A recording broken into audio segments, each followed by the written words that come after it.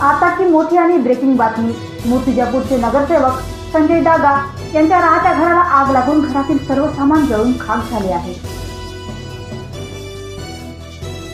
मूर्तिजापूर शहरातील स्टेशन विभाग येथील जयस्तंभ चौकातील घराला शॉर्ट सर्किटमुळे आग लागली असून ही आग सकाळी दहा वाजता ते सुमारास लागल्याचा प्राथमिक अंदाज आहे. आगीत गृहोपयोगी वस्तूसह अनेक वस्तू जळून खाक झाल्या.